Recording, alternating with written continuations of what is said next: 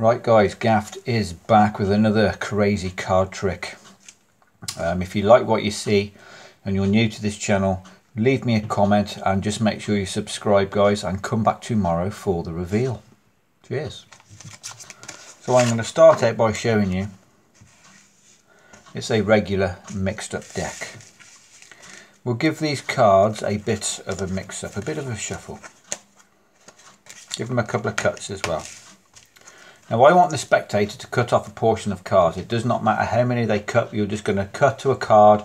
You're going to take the value of that card and deal cards down. So we're going to cut this many.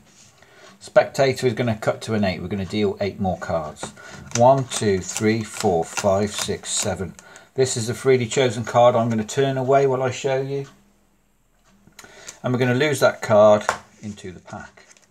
We're going to give these a shuffle. So there's no way I can know what card or where it is. Spectator could do all the shuffling if they want.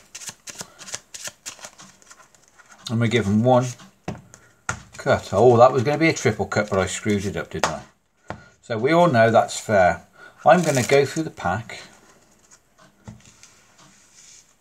And I'm going to look for one card.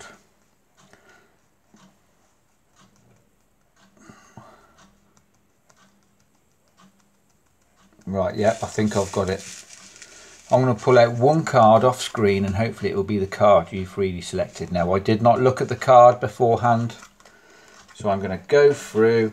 I'm going to take out one card, which I think could be your card. Don't need the rest of the deck. So for the first time, the card you saw was hopefully the Nine of Spades.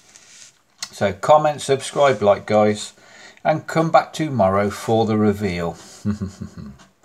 if you need one, you know what I'm saying? Cheers.